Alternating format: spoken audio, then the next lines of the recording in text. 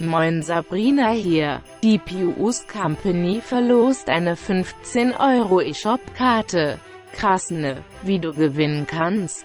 Du musst nur das Lösungswort ins Google-Formular eintragen, welches in der Videobeschreibung verlinkt ist.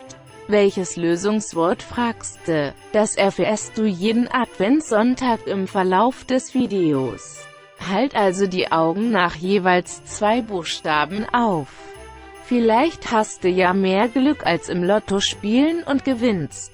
Und jetzt viel Saß mit dem Video. Hey Toads und willkommen zu diesem neuen Video. Heute schauen wir uns auf der Metakritik-Seite, wo alle Presseleute und auch alle anderen Leute Spiele bewerten können, schauen wir uns heute die drei schlechtesten Nintendo Switch Games aller Zeiten an. Los geht's. Auf dem dritten Platz haben wir Tennis. Ja, Tennis. Was ein toller Game-Name. So kreativ. Wenn man sich schon mal mit dem Game-Namen absolut keine Mühe gibt, kann das Game ja auch nicht so gut sein, oder? Nun ja, im Nintendo-Trailer, der jetzt hier läuft, weil ich einfach absolut kein Gameplay auf YouTube gefunden habe, sieht das Game gar nicht mal so schlecht aus, oder? Klar, die Grafik ist jetzt nicht so krass, aber es soll ja auch einfach nur Tennis sein. Die Kritikpunkte von der Fachpresse sind, dass es einfach kaum Modi gibt, die irgendwie Spaß machen würden und die nervige Sprachausgabe der Charaktere, die sich ununterbrochen wiederholt. Eine nette Sache ist, dass es sogar Bewegungssteuerung gibt. Uh, trotzdem ist es mit 28 von 100 Punkten auf Platz 3 der schlechtesten Switch-Games aller Zeiten. Kommen wir zum zweiten Platz. Auf dem zweiten Platz haben wir ein Party-Game namens Awkward.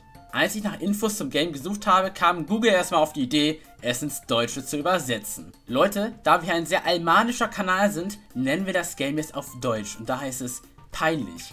Okay? Nein? Machen wir trotzdem. Das Game peinlich soll man übrigens laut der eigenen Nintendo-Seite nur auf eigene Gefahr spielen. Aha. Naja, immerhin sind die ehrlich, ne? Ihr fragt euch jetzt, was macht man denn jetzt in Peinlich, Pius? Erzähl doch mal. Gut. In Peinlich bekommt man Streitfragen, Beziehungsfragen oder schreckliche Dilemmas gestellt. Oh mein Gott. Was für eine Beziehungsfrage es sein könnte? Äh, zum Beispiel die. Hast du jemals mit einem Ex-Partner weiter zusammengelebt, nachdem ihr getrennt wart? Oder auch die. Was gefällt dir an deinem Partner besser? Das Gesicht oder der Körper? Ah ja, was ist das für eine Frage? Ähm, da gehen wir mal nicht weiter drauf ein, okay. Gut, was sind denn die Kritikpunkte der Fachpresse? Ähm, was? Genau das? Ach so, langweilige und komische Fragen. Ah, das kann ich gar nicht verstehen, nein, nein, nein. Also das sind doch wirklich gute Fragen für Partyrunden, also keine Ahnung, warum das Spiel so schlecht bewertet wird. Kommen wir nun zum ersten Platz, Leute. Das schlechteste Game laut Metakritik im Nintendo Switch eShop ist Room in the Night Sky. Dieses Game erschien kurz nach dem Switch-Launch und hat sich gleich einen guten Namen gemacht. Aber was macht man überhaupt in dem Spiel? In diesem Spiel steuert man eine Hexe auf einem Motorrad. Ja, richtig, Motorrad. Fliegender Besen war wohl ausverkauft. Ziel ist es in den Sage und Schreibe 8 Leveln, alle Sternringe einzusammeln, damit sich ein Tor öffnet und das Level beendet ist.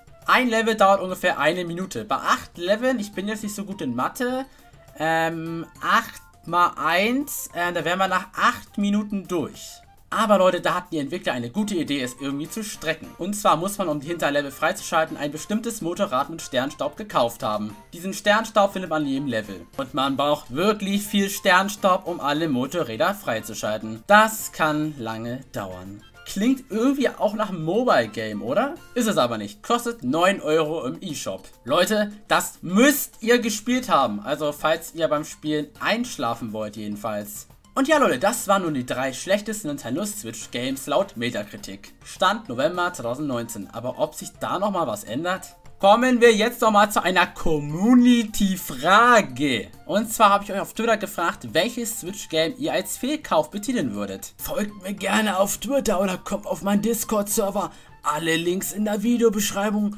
Die 100 Antworten habe ich dann ausgewertet und jetzt haben wir zwei Sieger. Mit jeweils sechs Stimmen liegen Arms und Super Mario Party auf dem ersten Platz. Glückwunsch! Beide Platzierungen kann ich verstehen. Sowohl ARMS als auch Super Mario Party boten für den Vollpreis nicht allzu viel. Gerade Super Mario Party. Vier Spielbretter. Ist das deren Ernst? Das ist die geringste Anzahl an Spielbretter ever. Und nun Leute sind wir am Ende des Videos angekommen. Wenn es euch gefallen hat, könnt ihr gerne das Video liken. Das würde mich freuen und den Kanal und das Video unterstützen.